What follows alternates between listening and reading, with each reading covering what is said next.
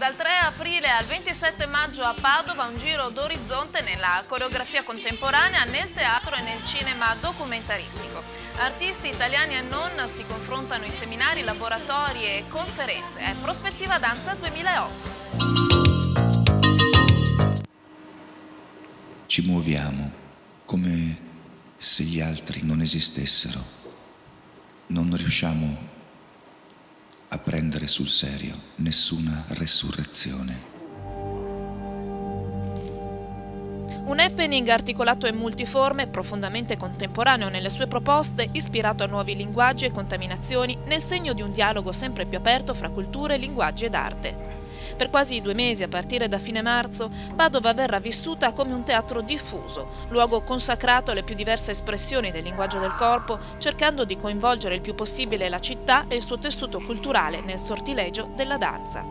Continua anche quest'anno, devo dire in una formula ancora più articolata e quindi ci sono i grandi appuntamenti con la danza al Teatro Verdi, quindi il 2 aprile, il 23 e il 25 di maggio avremo, ospiteremo tre grandi compagnie internazionali, una americana, una spagnola e una israeliana e con, questi, con, queste compagnie veramente sono degli appuntamenti unici nel Veneto, quindi vale veramente la pena assistere a questi grandi spettacoli.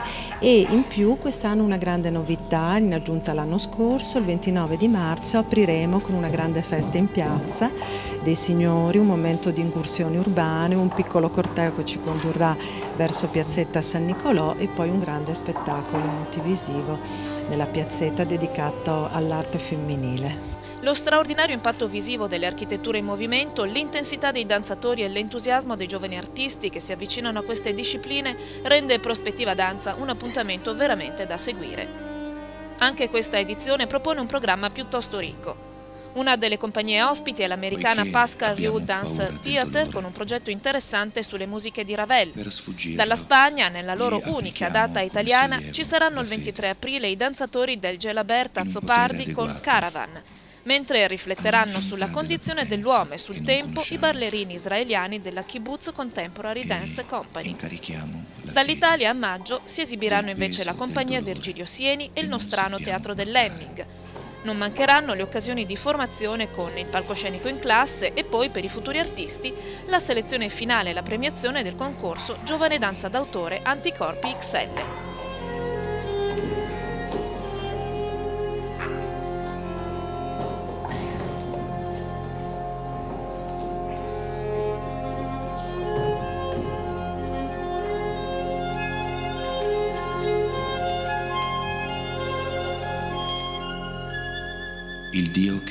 La danza è solo in apparenza arte del corpo.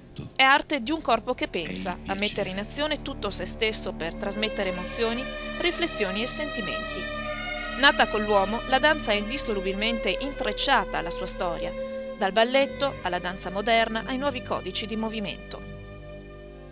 Oggi la danza va incontro all'arte nello stesso modo in cui va incontro alla vita, in performance, installazioni e forme in cui il movimento convive senza più etichette di arte scenica o arte visiva. Eppure spesso ingabbiata dal tubo catodico in iniziative che contribuiscono forse a promuovere la danza, forse a distorcerne il valore. Queste iniziative secondo lei mh, aiutano o di fatto eh, allontanano eh, le persone da, dalla danza, intesa come arte? Ma io credo che fondamentalmente aiutino, perché comunque la televisione è il più grande mezzo di eh, così, divulgazione, quindi sicuramente la danza portata in tv non fa che bene. Certo bisogna comunque distinguere che poi c'è una grande danza che viene solamente portata nei teatri, che non va mai persa di vista, proprio per un progetto culturale più ampio. Quindi benvengano le iniziative legate alla tv, eh, a tutte le trasmissioni, quali amici, eccetera, ma poi che questo possa proseguire all'interno dei teatri che devo dire sono dei luoghi sacri per la danza e per il teatro in genere.